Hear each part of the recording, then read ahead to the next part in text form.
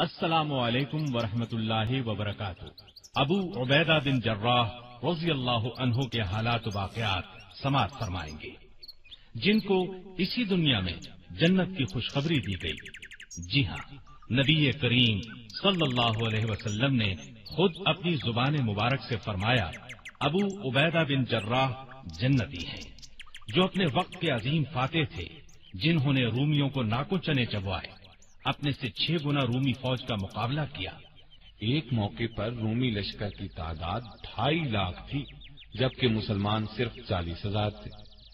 इस जंग में मुसलमानों के सिपा सालार अबू उबैदा बिन जर्राह थे, जिनके बारे में नबी अकरम सल्लल्लाहु अलैहि वसल्लम ने इरशाद फरमाया था कि मेरे ये दस असहाब जन्नती हैं, चुनाचे उन्हें अशराय मुबशरा का खिताब मिला। यानी वो दस जिन्हें दुनिया में जन्नत की खुशखबरी दे दी गई। इनके नाम ये हैं, Sayyidna Abu Bakr Siddiq, Sayyidna Umar Farooq, Sayyidna Usman Ghani, Sayyidna Ali bin Abi Talib, Sayyidna Abdurrahman bin Auf, Sayyidna Talha, Sayyidna Zubair bin Awwam, Sayyidna Saad बिन अबी वक्कास, सैयदना सईद बिन जैद और सैदिना अबू उबैदा बिन जर्राह रज़ी अल्लाह अनहुम अजमाई अबू उबैदा बिन जर्राह रज़ी अल्लाह को कई खसूसियात इसके अलावा भी हासिल हैं। इन्हें अल्लाह के रसूल सल्लल्लाहु अलैहि वसल्लम की तरफ़ से अमीन उल उम्मत का खिताब मिला, यानी उम्मत के अमीन और इसका मतलब ये है कि वो दीन के इल्म और दीन के अहकाम पर अमल करने के सिलसिले में बहुत बड़ा दर्जा रखते थे। लेकिन इसका यह मतलब हरगिज नहीं कि उन्होंने किसी बहुत बड़ी इस्लामी यूनिवर्सिटी से तालीम पाई थी या किसी बहुत बड़े अमीर घराने में पैदा हुए थे। जी नहीं, ऐसी कोई बात नहीं। उस जमाने में इस्लामी यूनिवर्सिटियाँ कहाँ थी? फनून सिपाहगरी की तरबियत देने के लिए बाकायदा इदारे कहाँ थे? वहाँ तो बस एक ही यूनिवर्सिटी थी और उस यूनिवर्सिटी का नाम था मोहम्मद सल्लल्लाहु अलैहि वसल्लम। ये हजरात जो कुछ भी सीखते थे, नबी करीम सल्लल्लाहु अलैहि वसल्लम से सीखते थे। फिर सहाबा सहाबा से सीखते थे। इन हजरात ने जितनी कामयाबियाँ हासिल की, वो अल्लाह पर सच्चे दिल से ईमान लाने की बुनियाद पर की। हकीकत यही है कि जब कोई अल्लाह के अहकाम पर अमल करने लग जाता है तो फिर अल्लाह उसे दानाई का ऐसा नूर अता करता है कि उसके सभी काम आसान होते चले जाते हैं। अब जरा गौर करें, जब अल्लाह के रसूल सल्लल्लाहु अलैहि वसल्लम दुनिया में तशरीफ़ लाए तो पूरा अरब जहालत की तारीखियों में डूबा हुआ था। वो लोग बात बात पर एक दूसरे का से सीखते थे। फिर सहाबा सहाबा से सीखते थे। इन हजरात ने जितनी कामयाबियाँ हासिल की, वो अल्लाह पर सच्चे दिल से ईमान लाने की बुनियाद पर की। हकीकत यही है कि जब कोई अल्लाह के अहकाम पर अमल करने लग जाता है तो फिर अल्लाह उसे दानाई का ऐसा नूर अता करता है कि उसके सभी काम आसान होते चले जाते हैं। अब जरा गौर करें, जब अल्लाह लड़ाई छिड़ती थी तो फिर जल्द खत्म नहीं होती थी। बाज औकात तो साल साल जारी रहती। जुआ खेलते, शराब पीते, सबसे बड़ा ऐब उनमें यह था कि अपनी बेटियों को चुनाचे उसे जंगल में ले जाता और ज़िंदा दफन कर देता। इससे बड़ा, बल्कि सबसे बड़ा ऐब उनमें यह था कि बुतों को पूछते थे। बुतों को अपना कार कारसाज समझते थे। उन पर चढ़ावे चढ़ाते थे। उनके नामों की मन्नतें मानते थे। उनको अपना इलाह ख्याल करते थे। इन हालात में वहाँ यूनिवर्सिटियाँ कहाँ हो सकती थी? वहाँ तो मदरसे भी नहीं थे। बच्चों के लिए स्कूल भी नहीं थे। लेकिन हमारे नबी सल्लल्लाहु अलैहि वसल्लम की आमद ने वहाँ का नक्शा ही बदल कर रख दिया, काया पलट दी। साहबा किराम रज़ी अल्लाह अनहुम में से हर किस्म के उलूम फनून के ऐसे माहिर हुए कि दुनिया आज तक उनका लोहा मानती है। मसलन, खालिद बिन वलीद रज़ी अल्लाह की सिपा सालारी को ले लें। उन्होंने साठ हज़ार के लश्कर का मुकाबला सिर्फ़ साठ जाबाजों से किया। और साठ हज़ार ने शिकस्त खाई। अनहो की सिपा सालारी को ले लें। उन्होंने साठ हज़ार के लश्कर का मुकाबला सिर्फ़ साठ जाबाजों साठ हज़ार ने शिकस्त खाई। इससे बढ़कर मिसाल क्या हो सकती है? उमर रज़ी अल्लाह अनहो की खिलाफत के जमाने में इस्लामी हुकूमत मुरबा मील पर फैल चुकी थी। और इस तरह उनका हुक्म चलता था कि कोई चू भी नहीं कर सकता था। लेकिन जब ये मुसलमान नहीं थे तो अपने बाप के ऊँट चराया करते थे। ये सब इस्लाम की बरकत थी कि वो इतनी बड़ी इस्लामी हुकूमत के खलीफा बने। यही वो बरकत थी जिसने अबू उबैदा बिन जर्राह को अमीन उम्मत बना दिया। और इससे भी बढ़कर एक अजीम सिपा सालार बने जिन्होंने रोमियों को शिकस्त पर शिकस्त दी इस्लाम और नबी करीम सल्लल्लाहु अलैहि वसल्लम की मुखालिफत करने वालों, यानी मक्का के कुरैश, मदीने के यहूदियों और ईसाइयों का ज़ोर टूट गया और पहली इस्लामी हुकूमत कायम हो गई तो दूर दराज इलाकों में रहने वाले अरब ग्रोह दर ग्रोह इस्लाम कबूल करने के लिए मदीना आने लगे।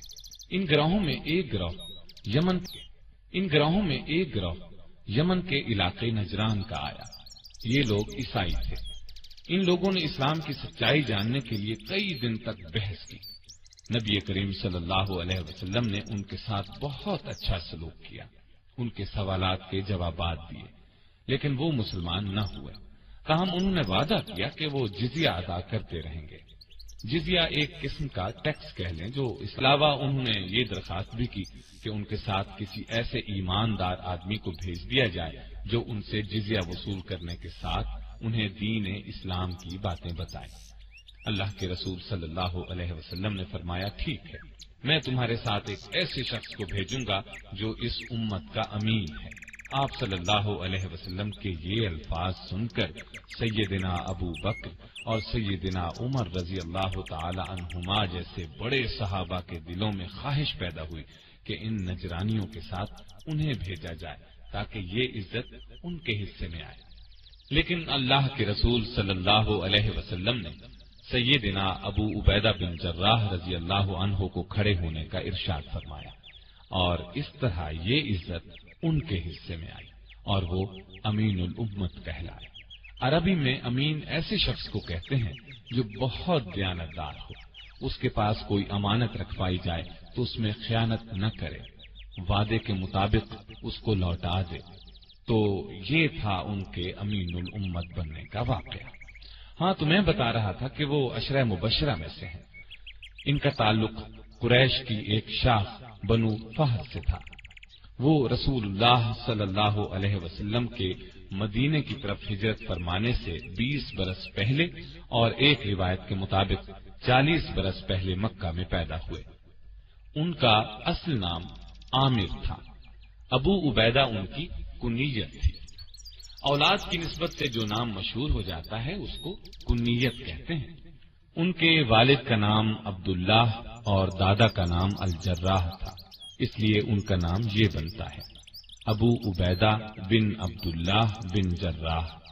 लेकिन वो मशहूर अबू उबैदा बिन जर्राह के नाम से हुए। उनका सिलसिला नस्बत ऊपर जाकर रसूलुल्लाह सल्लल्लाहु अलैहि वसल्लम से जा मिलता है। उनकी एक शान ये है कि ये सबसे पहले ईमान लाने वालों में शामिल हैं। सबसे पहले ईमान लाने वालों को साबिकून अल अव्वलून कहते हैं।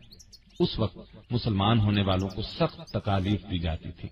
कहा जाता है कि उन्होंने सैयदना अबू बकर रज़ी अल्लाह अनहो के कहने पर इस्लाम कबूल किया था। जिस दिन ये मुसलमान हुए, उसी दिन इन हजरात ने भी इस्लाम कबूल किया था। Sayyidna Abdurrahman bin Auf, Sayyidna Usman bin Mazun Sayyidna Arqam bin Arqam रज़ी अल्लाह तह इनमें अब्दुलरहमान बिन औफ भी अशर मुबशरा में से हैं फिर जब मुसलमानों को बहुत ज़्यादा सताया जाने लगा, जुल्म के पहाड़ उन पर तोड़े जाने लगे, तपती रेत पर जब उनको लिटाया जाने लगा, जंजीरों से बांधकर जब उनको खींचा जाने लगा, फिर उन्हें भूखा प्यासा रखा जाने लगा, तब नबी सल्लल्लाहु अलैहि वसल्लम ने अल्लाह के हुक्म से मुसलमानों को इजाज़त दी कि मक्का छोड़कर हबशा चले जाएँ। अल्लाह की खातिर इस तरह वतन और घर बार छोड़ने को औरतें हबशा चले गए। ये ठीक है, वो ईसाई था, लेकिन बहुत नेक दिल था। उसने इन महाजिर मुसलमानों को अपने मुल्क में रहने की इजाज़त दे दी और उनके साथ बहुत अच्छा सलूक किया। यहाँ मैं आपको ये भी बताता चलूँ कि कुरान मजीद की रूह से ईसा अलैहिस्सलाम अल्लाह के जलील कद्र पैगंबर थे। अल्लाह ने उन पर अपनी किताब इंजील नाजिल की थी। इसलिए उन पर ईमान लाने वाले भी मुसलमान ही थे। लेकिन फिर ईसा के आसमान पर उठा लिए जाने के बाद दुनिया के फ़ायदे की खातिर लोगों ने उनकी तालीम को बदल दिया। अपनी तरफ़ से आसमान पर उठा लिए जाने के बाद दुनिया के फ़ायदे की खातिर लोगों ने उनकी तालीम को बदल दिया। अपनी तरफ़ से इस तालीम में मतलब की बातें शामिल कर ली। इंजील मुकद्दस को कुछ से कुछ बना दिया। ऐसा करने को तहरीफ करना कहते हैं। ये बहुत बड़ा गुना है। उनकी तालीम को बदल देने वालों ने एक अकीदा ये घड़ दिया कि ईसा सलाम अल्लाह के बेटे हैं। लेकिन कुछ ईसाई सही तालीम पे भी कायम रहे। हबशा का बादशाह नजाशी भी सच्चा हबशा का बादशाह नजाशी भी सच्चा ईसाई था। वो ईसा सलाम को अल्लाह का बेटा नहीं मानता था। ऐसा अकीदा रखना शिरक है। अल्लाह ताला ने कुरान करीम में बार बार फरमाया है, शिरक सबसे बड़ा गुना है। शिरक मुआफ नहीं किया जाएगा। इस काफले में इक्यानवे मुहाजिर थे। इनमें तिहत्तर मर्द और अठारह औरतें थी। अपने दीन के लिए ये बहुत बड़ी कुर्बानी थी। अबू उबैदा बिन जर्राह की एक शान ये है कि उन्होंने दो मरतबा हिजरत की। यानी दूसरी मरतबा तेरह हिजरी को हबशा से मदीना की तरफ़। उस वक्त हिजरत की, जब अल्लाह के रसूल सल्लल्लाहु अलैहि वसल्लम हिजरत फरमाकर मदीना तशरीफ़ ले गए। इस तरह उनके हिस्से में हिजरत का दुगना सवाब आया। यही नहीं, उन्हें तो अल्लाह ताला ने बहुत सी दूसरी नेमतों से भी नवाजा। मैं पहले बता चुका हूँ कि वो अशरा मुबशरा में शामिल हैं और जहाँ तक मेरा ख्याल है, ये हिलफुल फजूल में भी शामिल रहे होंगे। मैं आपको ये भी बताता चलूँ कि मदीना तशरीफ़ लाने के बाद नबी अकरम सल्लल्लाहु अलैहि वसल्लम ने मुसलमानों के माबेन जो मुआखात कायम की थी, उसमें हज़रत अबू उबैदा बिन जर्राह भी शामिल थे। मुआखात का मतलब है भाईचारा। नबी सल्लल्लाहु अलैहि वसल्लम ने दो दो मुसलमानों में भाईचारा कायम फरमाया था। इस तरह अबू उबैदा बिन जर्राह रज़ी अल्लाह अनहो को अबू तलहा रज़ी अल्लाह अनहो का दीनी भाई बनाया। ये भाईचारा इसलिए था कि मुसलमान एक दूसरे के मददगार और खैर खा बन जाए। ये लोग फिर ऐसे खैर खा बने कि सगे अपना आधा माल अपने भाइयों को दे दिया। जिनके पास दो मकान थे, उन्होंने एक एक मकान दे दिया। गरज हर चीज़ का निस्फ भाइयों की नज़र कर दिया। ऐसी मिसाल दुनिया में कम ही मिलती है, लेकिन अफसोस, आजकल मुसलमानों में भाईचारे के जज्बात कम ही नज़र आते हैं। इस्लाम ने तमाम मुसलमानों को भाई भाई करार दिया है। अल्लाह ताला पुराने मजीद में इर्शाद फरमाता है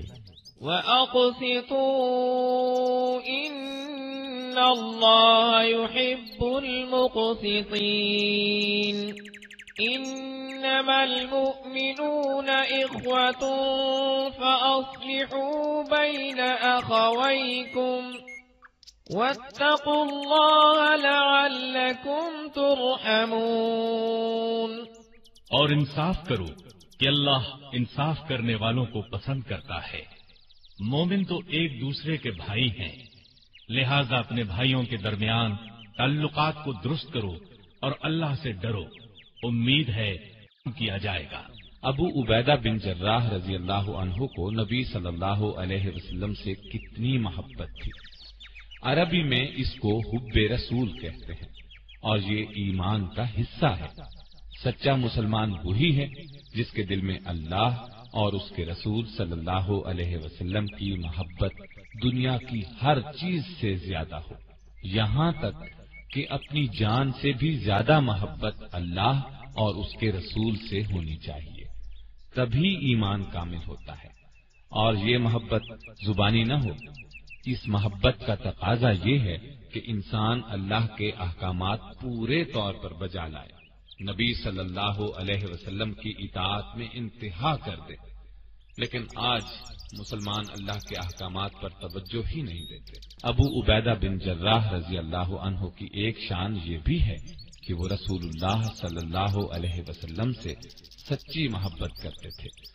यही वजह थी कि आप भी उनसे बहुत मोहब्बत करते थे उनकी जिंदगी का एक वाक्य ऐसा है कि वो ईमान और यकीन के बहुत ऊंचे दर्जे पर नजर आते हैं अल्लाह ताला कुरान करीम में फरमाता है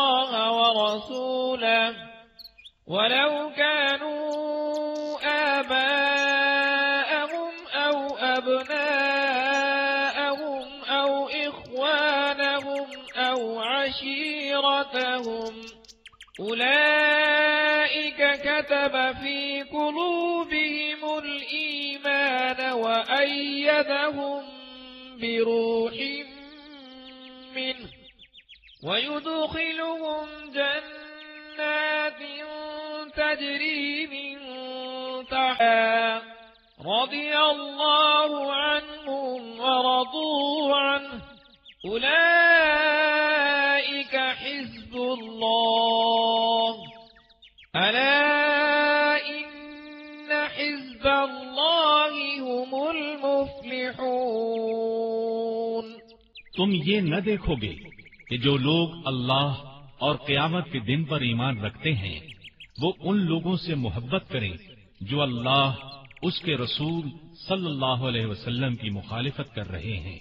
चाहे वो उनके बाप हों या बेटे, या उनके भाई हों या खानदान के लोग, अल्लाह ने उनके दिलों में ईमान पुख्ता कर दिया है और अपनी तरफ़ से एक रूह अदा करके कुव्वत बख्शी है।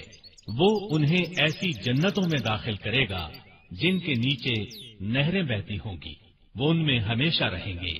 अल्लाह उनसे राज़ी हो गया, वो अल्लाह से राज़ी हो गए। वो अल्लाह के तरफदार लोग हैं और अल्लाह के तरफदार ही फलाह पाने वाले हैं। ये अल्लाह ताला ने सहाबा रज़ी अल्लाह की तारीफ़ बयान फरमाई है। अब इसकी वजाहत में वाकया सुनिए गजवा बद्र में ऐसा हुआ कि अबू उबैदा बिन जर्राह रज़ी अल्लाह अनहु और उनके वालिद अब्दुल्लाह बिन जर्राह लड़ाई के दौरान आमने सामने आ गए। उनके वालिद मुसलमान नहीं हुए थे और काफिरों के लश्कर में थे। वो बान आमने सामने आ गए। उनके वालिद मुसलमान नहीं हुए थे और काफिरों के लश्कर में थे। वो बहुत बढ़ बढ़ कर हमले कर रहे थे। कोई आम आदमी होता तो बाप को देखकर पीछे हट जाता। लेकिन सैयदना अबू उबैदा रज़ी अल्लाह अनहु ने ये कमज़ोरी न दिखाई। अपने बाप की उस वक्त की हालत को जहन में रखा। ये कि वो अल्लाह का दुश्मन है। उन्होंने मौका पाते ही बेधड़क बाप पर वार कर दिया और उसे कत्ल कर दिया। और ये बात साबित कर दी कि उन्हें अपना दीन और ईमान, अपनी जान और दुनिया की हर चीज़ से ज़्यादा अज़ीज़ है। ऐसी और भी मिसालें मिलती हैं। बात दर असल ये है कि वो लश्कर अल्लाह के दुश्मनों का था। और ये लोग अल्लाह और उसके रसूल सल्लल्लाहु अलैहि वसल्लम की मोहब्बत में सरशार थे। इन हालात में वो बाप को क्यों कत्ल न करते? और फिर ये लड़ाई मुसलमानों और काफिरों की पहली लड़ाई थी। जंग शुरू होने से पहले अल्लाह के रसूल सल्लल्लाहु अलैहि वसल्लम ने दुआ मांगी थी। पूरे इस्लाम के मुकाबले में आ गया है। अगर तेरे ये बंदे मिट गए तो रुए ज़मीन पर कयामत तक तेरा नाम लेने वाला कोई नहीं होगा। लिहाजा इन हालात में एक मुसलमान कैसे काफिर बाप का लिहाज कर सकता था। दरअसल सब रिश्तों में असल रिश्ता ईमान का रिश्ता है। गैर कौम से ताल्लुक रखने वाला मुसलमान दूसरे मुसलमान का भाई बन जाता है और सगा भाई काफिर हो तो उसकी हैसियत गैर जैसी हो जाती है।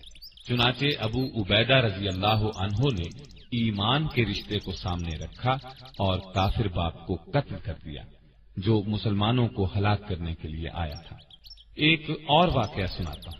इससे ये बात साबित हो जाती है कि सैयदना अबू उबैदा रज़ी अल्लाह अनहो को रसूल पाक सल्लल्लाहु अलैहि वसल्लम से सच्ची मोहब्बत थी। गजवा बद्र में शिकस्त खाने के बाद अगले साल तीन हिजरी में मक्के के काफरों ने फिर हमला किया और उहद पहाड़ के करीब मुसलमानों और काफिरों के दरमियान लड़ाई हुई। इस लड़ाई को गजवा उहद कहते हैं। अल्लाह की मदद से ये लड़ाई भी पहले मरहले में मुसलमानों ने जीत ली। काफिर मैदान छोड़कर भाग खड़े हुए। इस मौके पर पचास तीर अंदाजों से चूक हो गई। नबी करीम सल्लल्लाहु अलैहि वसल्लम ने एक दर्रे पर उन्हें मुकर्र फरमाया था और हिदायत फरमाई थी कि दर्रे को न छोड़ना, क्योंकि इस तरफ़ से दुश्मन मुसलमानों पर हमला कर सकता था। जब काफिर भागे तो उन तीर अंदाजों ने दर्रा छोड़ दिया और माले गनीमत समेटने के लिए मैदान की तरफ़ चले गए। दर्रे को खाली पाकर काफिर पलटे और उससे गुजरकर मुसलमानों की पुष्ट की तरफ़ से हमला कर दिया। इस अचानक हमले से मुसलमानों के पाँव उखड़ गए, इसलिए कि वो तो माले गनीमत जमा करने में मसरूफ हो चुके थे। अब सूरत हाल ऐसी पैदा हो गई कि नबी सल्लल्लाहु अलैहि वसल्लम भी जख्मी हो गए। एक पत्थर लगने से आपके सामने के दो दांत शहीद हो गए। खौद की कड़ियाँ आपके रुखसार मुबारक में गड़ गईं। ये बहुत नाजुक वक्त था। मुसलमान पाँव उखड़ने की वजह से बिखर गए। इधर उधर भाग पड़े। उधर काफिरों ने शोर मचा दिया कि हमने मुसलमानों के नबी का खातिमा कर दिया नौजुबिल्लाह ऐसे नाजुक मौके पर अबू उबैदा बिन जर्राह और दूसरे जानिसार साहबा रज़ी अल्लाह ने अपनी जानों की परवाह न करते हुए आप सल्लल्लाहु अलैहि वसल्लम की हिफाजत की खातिर सामने खड़े हो गए और जो तीर, नेजा, पत्थर, जो कुछ भी आया, उन्होंने अपने जिस्मों पर उसको लेना शुरू किया।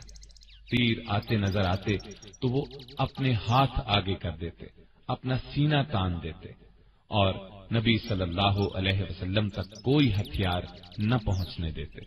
अबू बकर सिद्दीक रज़ी अल्लाह अनहो फरमाते हैं कि रसूलुल्लाह सल्लल्लाहु अलैहि वसल्लम को खतरे में पाकर मैं आपकी तरफ़ भागा तो अबू उबैदा बिन जर्राह हारी हुई जंग भी मुसलमानों ने फिर जीत ली थी। दूसरी बार फतह अल्लाह की मेहरबानी सल्लल्लाहु अलैहि वसल्लम की बेमिसाल जुरत और साहबा किराम रज़ी अल्लाह अनहुम की जानसारी की वजह से हुई। आपकी हिफाजत करते हुए दस साहबा शहादत के मरतबे पर फायज हुए। खुद रसूलुल्लाह सल्लल्लाहु अलैहि वसल्लम बहुत ज़्यादा जख्मी होने के बावजूद एक चटान तक तशरीफ़ ले गए। ये काम इसलिए ज़्यादा मुश्किल था कि चारों तरफ़ से तीर बरस रहे थे। मुसलमानों ने जब नबी सल्लल्लाहु अलैहि वसल्लम को ज़िंदा सलामत देखा तो पलट पड़े। और काफिरों पर इस कदर शदीद हमला किया कि उन्हें मैदान जंग से भगा दिया। सैयदिना अबू उबैदा बिन जर्राह रज़ी अल्लाह ने रसूलुल्लाह सल्लल्लाहु अलैहि वसल्लम से मोहब्बत का सबूत इस तरह पेश किया कि वो तारीख का एक खास वाकया बन गया। रसूलुल्लाह सल्लल्लाहु अलैहि वसल्लम के रुखसार में खोद की कड़ियाँ इस तरह गड़ गई थीं कि उनको निकालने की कोई तदबीर समझ में नहीं आ रही थी। इस मौके पर वो जल्दी से आगे बढ़े और खोद की कड़ी को अपने दांतों से पकड़कर खींचा। जल्दी से आगे बढ़े और खोद की कड़ी को अपने दांतों से पकड़कर खींचा। कड़ी तो निकल आई, लेकिन इस कोशिश में खुद उनका एक दांत टूट गया, जबकि अभी दूसरी कड़ी रुखसारे मुबारक में गड़ी थी। दांत टूटने की वजह से खुद अबू उबैदा रज़ी अल्लाह अनहो तकलीफ़ में मुब्तला हो गए। अल्लाह अनहो तकलीफ़ में मुब्तला हो गए। मजीद दांत टूट जाने का खतरा भी था, लेकिन उन्होंने परवाह न की। दांतों से पकड़कर दूसरी कड़ी को भी खींचा और ऐसा करते हुए उनका एक दांत और टूट गया। हाँ इन लोगों के ऐसे ही हैरत अंगेज कारनामों की वजह से अल्लाह ताला ने उन्हें ये मर्तबा दिया कि रहती दुनिया तक उनके नाम ज़िंदा रहेंगे। ये दुनिया उनकी तारीफ़ करती रहेगी। खुद अल्लाह ताला ने कुरान मजीद में कई जगह इन हजरात की तारीफ़ की है। बहरहाल मैं बता रहा था, अल्लाह के रसूल सल्लल्लाहु अलैहि वसल्लम उनसे बहुत खुश थे। कोई खास काम होता तो उनके स्पुर्द फरमाते। वो हर काम को बहुत खुश उसलूबी से मिलाए सालबा के लोग दूसरे कबीलों को साथ मिलाकर मदीने के आसपास की बस्तियों में लूट मार किया करते थे। उनकी शिकायत मौसू होने पर नबी सल्लल्लाहु अलैहि वसल्लम ने छह हिजरी में सैयदना अबू उबैदा रज़ी अल्लाह को उन्हें सजा देने के लिए भेजा। उन्होंने आसानी से उनका खात्मा कर दिया। इसी तरह सात हिजरी का वाकया है कि रसूलुल्लाह सल्लल्लाहु अलैहि वसल्लम के इल्म में ये बात लाई गई कि कबीला कुजा मदीने पर हमले की तैयारी कर रहा है। आपने उस कबीले को सजा देने के लिए अम्र बिन आस रज़ी अल्लाह अनहो को सालार बनाकर भेजा। वो रवाना हो गए। फिर हालात देखकर मदद के लिए और मुजाहिद भेजने की दरखास्त की। आपने सैदिना अबू उबैदा रज़ी अल्लाह अनहो की सरदारी में दूसरा लश्कर रवाना फरमाया। आठ हिजरी में रसूलुल्लाह सल्लल्लाहु अलैहि वसल्लम ने उन्हें एक लश्कर का सरदार बनाकर साहिल समुन्दर की तरफ़ ये मालूम करने के लिए भेजा कि कुरैश मक्का जंग की तैयारी तो नहीं कर रहे। इसी साल मक्का फतह हुआ तो इस मार्के में भी अबू उबैदा रज़ी अल्लाह एक दस्ते के सालार थे। एक और वाकये से भी उनकी शान ज़ाहिर होती है कि जब मुआहिदा सुलह हुदैबिया लिखा गया तो उनसे बतौर गवाह दस्तखत कराए गए। गरज, कितने ऐसे वाकयात हैं जिनसे ये साबित होता है कि रसूलुल्लाह सल्लल्लाहु अलैहि वसल्लम दस्तखत कराए गए। गरज, कितने ऐसे वाकयात हैं जिनसे ये साबित होता है कि रसूलुल्लाह सल्लल्लाहु अलैहि वसल्लम उनकी बहुत कद्र किया करते थे। और भाई, बात यह है कि नेकी के रास्ते में की रोशनी ज़्यादा कर देता है। जो बात आम लोग मुश्किल से समझते हैं या बिल्कुल समझ ही नहीं पाते, ये लोग उस बात को निहायत आसानी से समझ लेते हैं। उनमें बिल्कुल ठीक फैसला करने की कुव्वत पैदा हो जाती है। इस तरह उनके कामों में खूब बरकत होती है और वो तरक्की करते चले जाते हैं। अल्लाह ताला ने सैयदना अबू उबैदा बिन जर्राह रज़ी अल्लाह को शुजात, अमानत और दयानत के साथ साथ दानाई का नूर भी बहुत दिया था। मुश्किल तरीन मसले को आसानी से सुलझा लेते थे। उनमें ये काबिलियत उस वक्त और भी निखर कर सामने आई जब अल्लाह के रसूल सल्लल्लाहु अलैहि वसल्लम के इंतकाल के बाद मुसलमानों में ये इख्तिलाफ पैदा हुआ कि आपका खलीफा, यानी जानशीन, कौन बनेगा? पहले इस बारे में बहुत इख्तिलाफ हुआ। रसूलुल्लाह सल्लल्लाहु अलैहि वसल्लम के खानदान वालों ने ये ख्वाहिश ज़ाहिर की कि सैयदना अली रज़ी अल्लाह को खलीफा बनाया जाए। अंसार मदीना ने यह चाहा कि ये इज़्ज़त उन्हें मिले, खलीफा उनमें से लिया जाए। अंसार मदीना वो लोग हैं जिन्होंने मुसलमानों और नबी सल्लल्लाहु अलैहि वसल्लम की हिजरत के मौके पर मेजबानी की थी। हर तरह साथ दिया था, हर किस्म की कुर्बानी दी थी। लेकिन इस तरह ग्रोही बादशाहत कायम होती। बिल्कुल सही तरीका ये था कि रसूलुल्लाह सल्लल्लाहु अलैहि वसल्लम का खलीफा उस शख्स को चुना जाए जो नेकी और दानाई में खास मकाम रखता हो। और यही बात सबसे अच्छी थी। जिस वक्त खलीफा के मामले पर गर्मा गर्म बहस हो रही थी और ये खतरा पैदा हो चला था कि कहीं मुसलमानों में इख्तिलाफ पैदा न हो जाए, अल्लाह ताला ने अपनी खास राह में ये ख्याल डाला कि अल्लाह के रसूल सल्लल्लाहु अलैहि वसल्लम का जानशीन बनने का हक अगर किसी को है तो उसे है जो तकवा और दानाई में सबसे बढ़ा हुआ है। चुनाचे आप आगे बढ़े और फरमाया, मुसलमानों मेरे नज़दीक तो दो आदमी ऐसे हैं, जिनमें से एक को रसूलुल्लाह सल्लल्लाहु अलैहि वसल्लम का जानशीन बनाया जा सकता है। एक उमर बिन खत्ताब रज़ी अल्लाह अनहो और दूसरे अबू उबैदा बिन जर्राह रज़ी अल्लाह अनहो। लेकिन फिर हज़रत उमर रज़ी अल्लाह अनहो ने अबू बकर रज़ी अल्लाह अनहो का हाथ पकड़कर उनके हाथ पर बैत इमारत कर ली और दूसरे लोगों ने भी हज़रत उमर के इस इंतखाब की तायद की, क्योंकि ईमान और तकवा में हज़रत अबू बकर सिद्दीक सबसे ज़्यादा मुमताज़ थे। और ये फैसला वाकई बिल्कुल दुरुस्त था। इसलिए कि सैयदना अबू बकर सिद्दीक रज़ी अल्लाह ने खिलाफत का मनसब संभालते ही ऐसी दानाई और दलेरी से मुल्क का इंतज़ाम किया कि इसकी मिसाल नहीं मिलती। जबकि रसूलुल्लाह सल्लल्लाहु अलैहि के इंतकाल के बाद दुश्मनों ने ये ख्याल कर लिया था कि बस अब दीन इस्लाम का खात्मा हो जाएगा। कुछ बदबख्तों ने तो नबूवत का दावा तक कर दिया था। कुछ ने दीन इस्लाम के अहकाम मानने से इनकार कर दिया था। एक तबके ने जक़ात देने से इनकार कर दिया था। हालात ऐसे थे कि सब ऊँचे दर्जे के सहाबा रज़ी अल्लाह ने उन्हें मशवरा दिया था कि अभी इन बागियों और शरीरों को कुछ न कहा जाए। लेकिन सैयदना अबू बकर सिद्दीक रज़ी अल्लाह अनहु ने उनके खिलाफ जिहाद किया और उन सबको पूरी पूरी सजा दी। एक बड़ा और अहम काम उन्होंने ये किया कि ईरान और रोम की फौजों से जिहाद करने के लिए मुजाहिदीन के लश्कर रवाना किए और शानदार फतूहत हासिल की। ये दोनों मुल्क मदीने पर हमला करके इस्लामी सल्तनत को पारा पारा करने की तैयारियाँ कर रहे थे। इस जिहाद में सैयदना अबू उबैदा बिन जर्राह ने सिपाह सालार की हैसियत से शानदार कारनामे अंजाम दिए। इसकी तफसील यूँ है, अबू बकर सिद्दीक रज़ी अल्लाह ने तेरह हिजरी में लश्कर रवाना किए। सैयदना खालिद हिजरी में लश्कर रवाना किए। सैयदिना खालिद बिन वलीद रज़ी अल्लाह को इराक की तरफ़ रवाना किया। सैयदिना अबू उबैदा बिन जर्राह को हिम्स की तरफ़ और सैयदिना अम्र बिन आस रज़ी अल्लाह अनहो को फलस्तीन भेजा। शुराहबील बिन हसना रज़ी अल्लाह अनहो को उर्दन जाने का हुक्म दिया और सैयदिना यजीद बिन अबी सुफियान रज़ी अल्लाह अनहो को दिमश्क की तरफ़ भेजा। ये लश्कर इसलिए भेजे गए कि रोमी और ईरानी सल्तनतें मुसलमानों पर हमलावर होने की तैयारियाँ कर रही थी। इस्लाम से लड़ने की इजाज़त नहीं देता कि अपनी ताकत बढ़ाई जाए। उसने ज़मीन पर फसाद फैलाने को कत्ल से बड़ा फितना करार दिया है। लेकिन साथ ही अपनी हिफाजत लेकिन साथ ही अपनी हिफाजत को ज़रूरी बताया है। इसी सिलसिले में नबी सल्लल्लाहु अलैहि वसल्लम वसल्लम तबूक गए थे।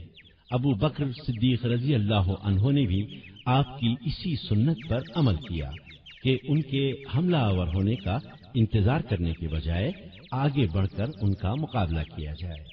सैयदिना अबू उबैदा बिन जर्राह रज़ी अल्लाह अनहो मदीना मुनवरा से रवाना हुए तो उनके साथ कोई बड़ी फौज नहीं थी, लेकिन उनका दिल इस यकीन से लबरेज था कि दुश्मन कितना भी ताकतवर हो, हमारे सामने नहीं ठहर सकेगा। इस यकीन की असल वजह अल्लाह की इमदाद पर पूरा पूरा भरोसा था। गजवाए बद्र गजवाए उहद गजवाए अहजाब और गजवाए खैबर में उन्होंने इस गैबी इमदाद को अपनी आँखों से देखा था। रसूलुल्लाह सल्लल्लाहु अलैहि वसल्लम के जमाने में लड़ी जाने वाली इन सब जंगों में मुसलमानों की तादाद थी। वो लड़ाई में कुछ कम माहिर नहीं थे।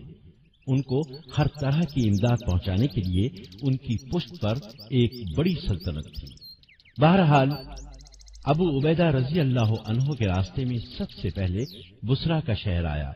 उन्होंने इस शहर को निहायत आसानी से फतह कर लिया। रूमियों ने अपनी तरफ़ से पूरी तैयारी करके मुकाबला किया था।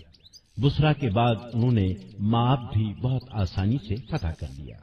ये इब्तदाई फतूहत सैदिना अबू उबैदा रज़ी अल्लाह ने अल्लाह की मदद और ईमानी जज्बे ही से हासिल की। इन दो मकामात की फतह के बाद आप जाबिया पहुंचकर रुक गए। ताकि अंदाज़ा लगा सकें कि रूमी अब क्या करने वाले हैं। उधर दो जंगे हारने के बाद रूमी होशियार हो गए थे। पहले वो इस खुशफहमी में मुब्तला थे कि मुसलमान हमारे मुकाबले में हैं ही क्या। लेकिन अब उन्हें अंदाज़ा हुआ कि उनका मुकाबला मामूली इंसानों से नहीं है, चुनाचे उन्होंने एक जगह जमा होकर भरपूर मुकाबले की तैयारियाँ शुरू कर दी।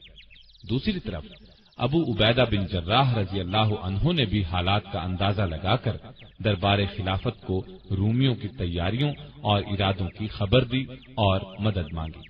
सैयदिना अबू बकर सिद्दीक रज़ी अल्लाह ने फ़ौरन फौजी मदद रवाना फरमाई और जो दूसरे सालार रवाना फरमा चुके थे, उन्हें भी पैगाम भेजा कि अबू उबैदा के पास पहुँच जाएँ। ऐसा ही हुक्म आपने खालिद बिन वलीद को भी भेजा, यानी वो भी इराक से शाम पहुँच जाए। तो सैयदिना अबू बकर सिद्दीक रज़ी अल्लाह अनहो को भी इस गैबी ताईद इलाही से जंग के महाज पर पेश आने वाली मुश्किल का अंदाज़ा हो गया था। चुनाचे उन्होंने तमाम सिपा सालारों को हुक्म दिया कि अबू उबैदा की मदद के लिए पहुँच जाएँ। जब सब लश्कर उनके पास पहुँच गए तो सिपा सालार खालिद बिन वलीद रज़ी अल्लाह अनहो को बुला लिया गया। इसलिए कि वो बहुत ज़्यादा बहादुर थे और जंगी तकबीरें इख्तियार करने में अल्लाह ने उन्हें खास काबिलियत अता की थी। इस मौके पर उन्हीं को सालार आला बनाना मुनासिब था।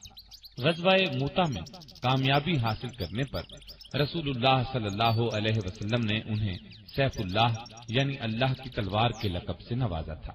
जंग जीतने की खास सलाहियतें अल्लाह ताला ने उन्हें अता फरमाई थी। सालार आला बनकर उन्होंने अपनी काबिलियत और बहादुरी का पूरा सबूत दिया। रूमी बादशाह ने अपनी फौज के सालारों के मशवरे से जंग का ऐसा नक्शा बनाया था कि लाजमी तौर पर फतह हासिल हो और मुसलमानों का इस तरह खात्मा हो जाए कि वो फिर मुकाबले में आने के काबिल न रहे। उसने हुक्म दिया था कि मुसलमानों को इकट्ठा न होने दिया जाए और रूमी फौज यरमूक के मैदान में जमा होकर मुसलमानों पर भरपूर हमले की तैयारी करे। यरमूक की लड़ाई तारीख की बहुत बड़ी जंग गिनी जाती है। इसमें रूमियों की तादाद ढाई लाख थी, जबकि मुसलमान फौज सिर्फ़ चालीस हज़ार थी। जंग के साजो सामान में भी रूमी बहुत बढ़े हुए थे। उनकी फौजी तरबियत भी ज़बरदस्त अंदाज में हुई थी। लेकिन दूसरी तरफ़ भी आखिर सैफुल्लाह थे। खालिद बिन वलीद रज़ी अल्लाह ने भी अल्लाह की मदद से ऐसी जंगी तदबीरें इख्तियार की और मुसलमान मुजाहिद ऐसी बहादुरी से लड़े कि बहुत तादाद और भारी हथियार कुछ भी काम ना आए। रूमी बदहवास होकर भागे। उनकी बहुत बड़ी तादाद मारी गई।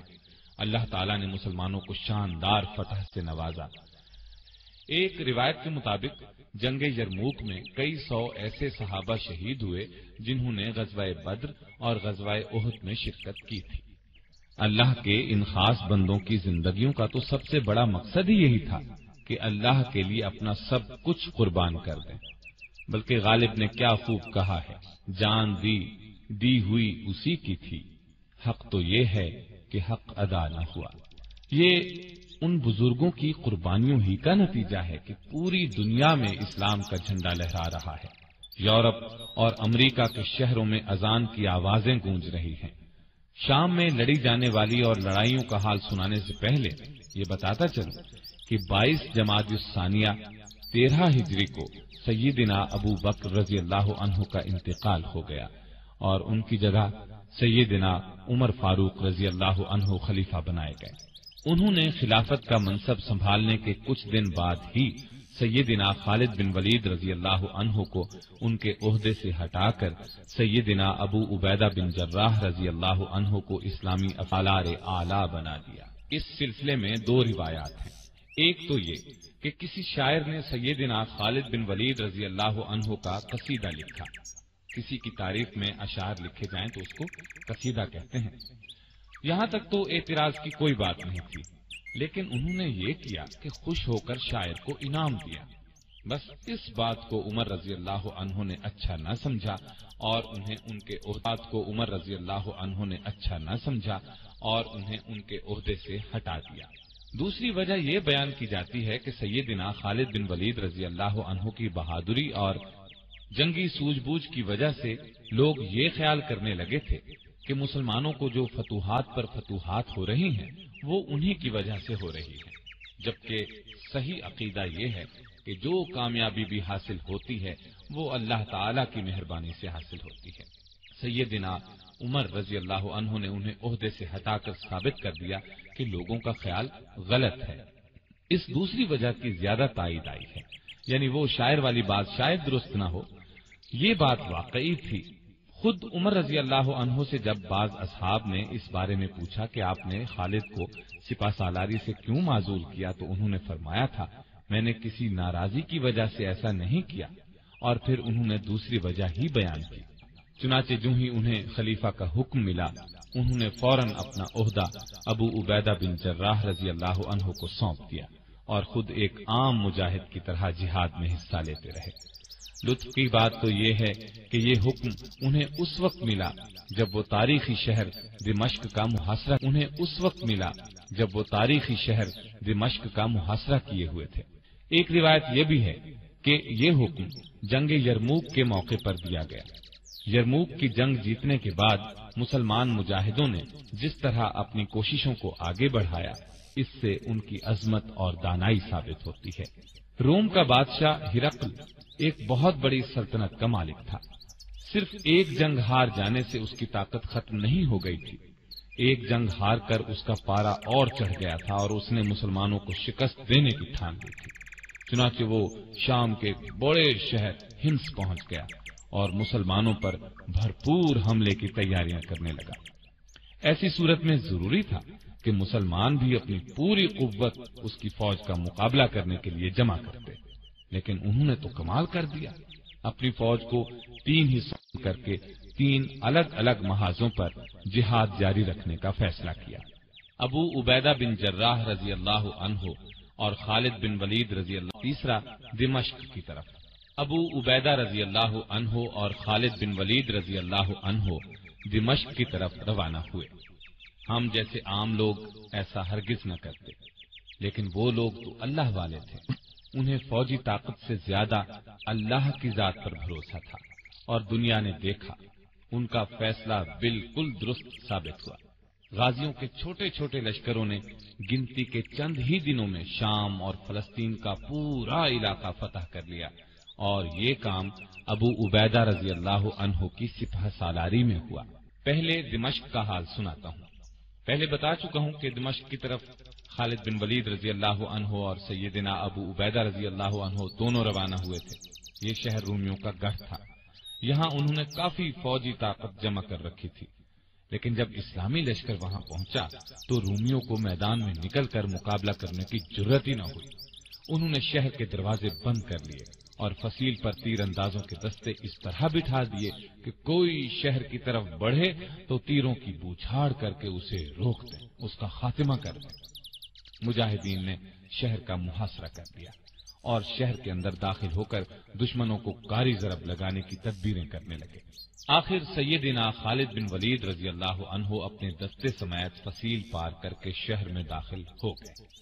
उधर उसके साथ दूसरी तरफ़ रूमियों के सिपह सालार ने सुलह की बातचीत शुरू कर दी। दोनों सालारों ने इस शर्त पर सुलह कर ली। दूसरी तरफ़ रूमियों के सिपह सालार ने सुलह की बातचीत शुरू कर दी। दोनों सालारों ने इस शर्त पर सुलह कर ली कि रूमी शहर का दरवाज़ा खोल देंगे और मुसलमान शहरियों को किसी तरह का नुकसान नहीं पहुंचाएँगे। उनकी जाने, इज़्ज़त, आबरू, माल महफूज रहेंगे। अब ये अजीब सूरत हाल पैदा हुई कि एक तरफ़ खालिद रज़ी अल्लाह अनहो लड़ते हुए आगे बढ़ रहे थे और दूसरी तरफ़ अबू उबैदा बिन जर्राह सुलह का झंडा उठाए आगे बढ़ रहे थे। दोनों की मुलाकात शहर के दरमियान में हुई।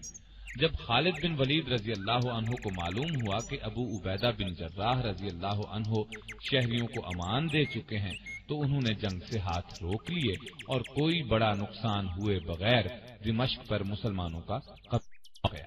अल्लाह ताला ने कुरान करीम में फरमाया है, हक आया, बातिल मिट गया, और बातिल तो है ही मिटने के लिए। अल्लाह ताला के इस इरशाद के मुताबिक उन लोगों को हमेशा कामयाबी हासिल होती है जो हक पर हों।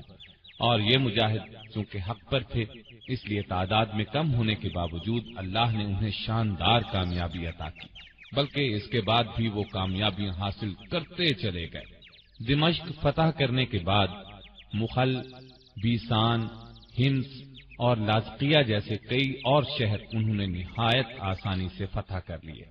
रूमी जहाँ भी मुसलमानों से लड़ने के लिए जमा होते, मुजाहिदीन के लश्कर वहीं पहुँच जाते और उनका गुरूर खाक में मिला देते। इन लड़ाइयों में लाजकिया की लड़ाई इस लिहाज से खास है कि उसमें अबू उबैदा रज़ी अल्लाह अनहु की आला दर्जे की जंगी काबिलियत और जहानत से फतह हासिल हुई। कैसर रोम के हुक्म से इस शहर में रोमियों ने बहुत बड़ी ताकत जमा कर रखी थी। सैयदिना अबू उबैदा रज़ी अल्लाह अनहु को उनके इज्तिमा की खबर मिली तो आप लश्कर लेकर तेज़ी से वहाँ पहुँच गए और रोमियों ने इस तरह शहर के दरवाजे बंद कर लिए, जिस तरह दिमश्क के बंद किए थे। मुसलमानों ने शहर का मुहासरा कर लिया। लेकिन आसपास का इलाका ऐसा था कि इस शहर का मुहासरा ज़्यादा दिन जारी नहीं रखा जा सकता था। इन सब बातों पर गौर करते हुए अबू उबैदा रज़ी अल्लाह ने मुजाहिदीन को हुक्म दिया कि वो शहर से काफ़ी दूर जाकर खंदकें खोद लें और ये काम ऐसी एहतियात से करें कि रूमियों को इसका पता न चले। तो दूसरा हुक्म ये दिया कि मुजाहिद बड़ी बड़ी टोलियाँ बनाकर लश्कर से निकले। इस तरह के रूमी उन्हें जाते हुए देखें। लश्करों से निकलकर मुजाहिदीन की ये टोलियाँ खंदकों में छुप जाएँ। और जब नारे तकबीर बुलंद हो तो बहुत तेज़ी से निकलकर शहर पर हमला कर दें। चुनाचे इस हुक्म पर भी अमल किया गया। मुसलमान बड़ी बड़ी टोलियों में जाने लगे। रूमियों ने ख्याल किया, वो मुहासरा उठाकर जा रहे थे। जब उन्हें अपने तौर पर यह अंदाज़ा हो गया कि मुसलमानों का पूरा लश्कर मुहासरा उठाकर चला गया है तो शहर के दरवाजे खोल दिए। शहर के दरवाजे खुलते ही नारे तकबीर बुलंद हुआ। मुजाहिदीन खंडकों से निकले और तेज़ी से दौड़ते हुए आकर शहर में दाखिल हो गए। शहर पर निहायत आसानी से कब्जा हो गया। रूमियों को पता ही न चला कि ये क्या हो गया है। इन मुजाहिदीन ने अल्लाह के रास्ते में लड़ने के अलावा अखलाक, ईमानदारी और शराफत के भी ऐसे शानदार नमूने पेश किए कि पूरे इलाके में उनकी धूम मच गई। मसलन एक वाकया सुन लें। जब दरबार खिलाफत से हुक्म मिला कि सब मुजाहिद एक जगह जमा हो जाएँ, आपस में मशवरा करके किसी को सालार चुन लें और एक लश्कर बनकर रूमियों का मुकाबला करें तो सैयदना अबू उबैदा बिन जर्राह रज़ी अल्लाह अनहो उस वक्त तक कई शहर फतह कर चुके थे। इन शहरों में कुछ ऐसे भी थे जिन्होंने जिजिया देना मंजूर किया था और लड़ाई के बगैर मुसलमानों को फातेह मान लिया था। जिजिया एक टैक्स है, जो इस्लामी सल्तनत में रहने वाले गैर मुस्लिमों से इस शर्त के साथ वसूल किया जाता है कि मुसलमान उनकी हिफाजत करेंगे। इन लोगों ने जिजिया भी अदा कर दिया था। खलीफतुल मुस्लिमीन का हुक्म मिलने के बाद मुसलमानों को ये इलाके छोड़ने पड़े तो इन शहरों के बाशिंदों को जिजिया की सारी रकम लौटा दी और उनसे कहा, चूँकि अब हम तुम्हारी हिफाजत की शर्त पूरी नहीं कर सकते इसलिए ये रकमें अपने पास रखने का भी हमें कोई हक नहीं है। हमारे इन बुज़ुर्गों की तो तमाम जिंदगियाँ ही ऐसी हैं कि उनकी मिसाल ही नहीं मिलती। वो सही मानों में अल्लाह पर ईमान रखते थे और उसके अहकाम पर अमल करते थे। अपनों, परायों, सबसे अच्छा सुलूक करते थे। लोगों की गलतियाँ माफ़ कर दिया करते थे। ज़मीन पर आजिजी से चलते थे। किसी से कोई वादा करते तो उसको पूरा करते। अल्लाह के सिवा किसी से नहीं डरते थे। न किसी को उसका शरीक ठहराते थे, न उसके सिवा किसी को हाजत रवा समझते थे। वहम और तारीख ख्याली से दूर थे। वो हमेशा ज़िंदगी का रोशन पहलू देखते थे और ये रोशनी दूसरों तक पहुंचाते थे। वो कुशादा दिल और बुलंद हौसला थे। उनकी बहादुरी और दानाई, उनके अच्छे बुलंद हौसला थे। उनकी बहादुरी और दानाई उनके अच्छे अमाल ही का इनाम थी। हाँ तो मैं कह रहा था कि जब मुसलमानों को खलीफा की तरफ़ से ये हुक्म मिला कि वो सब मुजाहिद एक जगह जमा हो जाएँ तो उन्होंने इन शहरों का जिजिया वापस कर दिया। क्योंकि वहाँ से रुखसत हो जाने की वजह से वो उनकी हिफाजत नहीं कर सकते थे। उधर रूम के बादशाह हिरकल को पक्का यकीन था कि वो बहुत आसानी से इन चंद हज़ार मुजाहिदीन का खात्मा कर देगा, जो शाम और फलस्तीन में दाखिल हुए हैं, और फिर इतनी ही आसानी से मदीने की इस्लामी सल्तनत का खात्मा कर देगा। लेकिन उसका अंदाज़ा बिल्कुल गलत साबित हुआ। उसे तो लेने के देने पड़ गए। उसने संभल संभल कर कई बार मुसलमानों का मुकाबला करने की कोशिश की, लेकिन वो कहीं भी पाँव न जमा सका। हर महाज पर उसे मुँह की खाना पड़ी। आखिरकार वो उस इलाके को जो सल्तनत रोम फरार हो गया। कुस्तुनतीनिया उसकी सल्तनत के मगरबी हिस्से का दारुल हुकूमत था। हिरकल के फरार के बाद सैयदना अबू उबैदा बिन जर्राह रज़ी अल्लाह ने मुकद्दस शहर बैतुल मकदिस फतह करने का इरादा किया। उस वक्त तक वो शाम के करीबन तमाम बड़े छोटे शहरों पर कब्जा कर चुके थे। खालिद बिन वलीद रज़ी अल्लाह अनहो और लश्कर के दूसरे सालारों से मशवरा करके उन्होंने अनहो को बैतुल मकदिस भेजा और फिर खुद भी वहाँ पहुँच गए। इस शहर की हिफाजत करने वाली रूमियों की फौज, मुसलमानों की मुसलसल फतूहात की खबरें सुन सुनकर पहले ही हिम्मत हार चुकी थी। चुनाचे जैसे ही अबू उबैदा रज़ी अल्लाह अनहो वहाँ पहुँचे, शहर के मजहबी पेशवाओं, यानी रहनुमाओं ने पैगाम भेजा। वो पैगाम ये था, अगर मुसलमानों के खलीफा उमर बिन खत्ताब रज़ी अल्लाह अनहो खुद बैतुल मकदस आए तो हम लड़े बगैर शहर की कुंजियाँ उनके हवाले कर देंगे। ये सुनकर अबू उबैदा बिन जर्राह रज़ी अल्लाह अनहो ने कहा, इससे अच्छी बात क्या हो सकती है कि हमारा एक भी मुजाहिद न मारा जाए? और भी कोई नुकसान न हो और शहर पर हमारा कब्जा भी हो जाए। फिर उन्होंने रूमियों का ये पैगाम उमर रज़ी अल्लाह अनहो की खिदमत में भेज दिया। उमर रज़ी अल्लाह अनहो को ये पैगाम मिला तो वो बैतुल मकदिस जाने के लिए तैयार हो गए। आप बैतुल मकदिस की तरफ़ रवाना हुए और इस तरह रवाना हुए कि अपने साथ सिर्फ़ अपने गुलाम हो गए। आप बैतुल मकदिस की तरफ़ रवाना हुए और इस तरह रवाना हुए कि अपने साथ सिर्फ़ अपने गुलाम को लेकर चले। आजकल के बादशाह कहीं जाते हैं तो अनगिनत हिफाजती इंतज़ाम किए जाते हैं। हिफाजती दस्ता साथ जाता है, लेकिन वो सिर्फ़ अपने एक गुलाम को लेकर चल पड़े। और इससे भी बढ़कर मज़े की बात यह है कि उनके पास ऊँट भी एक ही था, दो ऊँट भी नहीं थे। लिहाजा वो बारी बारी ऊँट पर सवारी कर रहे थे। पहले उमर रज़ी अल्लाह तला ने अगर सवारी की तो फिर गुलाम ने सवारी की। गुलाम की बारी खत्म हुई तो उमर रज़ी अल्लाह के ऊँट पर बैठने की बारी आई। इस तरह बारी बारी ऊँट की सवारी करते आखिर वो बैतुल मकदिस के नज़दीक पहुँच गए। पुरलुत्फ बात यह है कि जब बैतुल मकदिस नज़दीक आया तो उस वक्त ऊँट पर सवारी करने की बारी गुलाम की थी और मुसलमानों के खलीफा ऊँट की महार पकड़े पैदल चले आ रहे थे। शहर का दरवाज़ा करीब आने पर गुलाम ने कहा भी दरवाज़ा नज़दीक आ चुका है, अब ऊँट पर आप सवार हो जाएँ। इस पर उमर रज़ी अल्लाह ने फरमाया कि सुने, बारी आपकी है, लिहाजा ऊँट पर आप ही बैठे रहें। गुलाम ने कहा, वो लोग क्या सोचेंगे? उमर रज़ी अल्लाह ने फरमाया, कोई परवाह नहीं। हमें जो कुछ भी इज़्ज़त मिली है, इस्लाम की बदौलत मिली है, न कि सवारी या लिबास से। और फिर इसी हालत में मुसलमानों के दूसरे खलीफा उमर फारूक रज़ी अल्लाह अनहो दरवाजे पर पहुँचे। वहाँ ईसाई और मुसलमानों की फौज के सिपा सालार अबू उबैदा रज़ी अल्लाह अनहो और दूसरे सालार मौजूद थे। चश्मे फलक ने ये नज़ारा देखा। आका ऊँट की महार पकड़े चले आ रहे हैं और गुलाम ऊँट पर सवार है। और ये नज़ारा देखते ही बैतुल हवाले कर दी सुना है उनकी किताबों में यही लिखा हुआ था कि जब मुसलमानों का खलीफा बैतुल मकदिस के दरवाजे पर पहुंचेगा तो ऊँट की महार उसके हाथ में होगी और गुलाम ऊँट पर बैठा होगा। ये भी कहा जाता है कि उस वक्त उमर रज़ी अल्लाह अनहु के जिस्म पर जो लिबास था, उसमें पैबंद लगे हुए थे। दरवाज़ा नज़दीक आने पर गुलाम ने यह भी कहा था कि आप लिबास तब्दील कर लें। आपने ये भी पसंद नहीं फरमाया था। इस तरह बैतुल मकदिस खून का एक कतरा बहाए बगैर फतह हो गया। मुसलमानों का उस पर कब्जा हो गया। बैतुल मकदिस खून का एक कतरा बहाए बगैर फतह हो गया। मुसलमानों का उस पर कब्जा हो गया। उमर रज़ी अल्लाह अनहो ने अबू उबैदा रज़ी अल्लाह अनहो को इस पूरे इलाके का वाली यानी गवर्नर मुकर फरमाया और खुद मदीने लौट गए। अबू उबैदा रज़ी अल्लाह अनहो करीबन एक बरस तक उस इलाके के हुक्मरान रहे। फिर 18 हिजरी में उनका इंतकाल हो गया। उनकी वफात ताउन की बीमारी से हुई। आप उस वक्त अमूस के मकाम पर थे।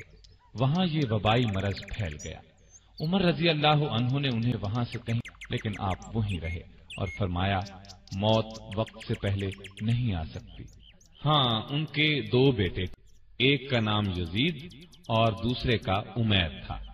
ये दोनों लावलद फौत हुए और यूँ अबू उबैदा बिन जर्राह रज़ी अल्लाह अनहो की नस्ल आगे नहीं चली लेकिन असल चीज़ तो उनके अच्छे अमाल थे, जिनका सवाब कयामत तक उन्हें मिलता रहेगा।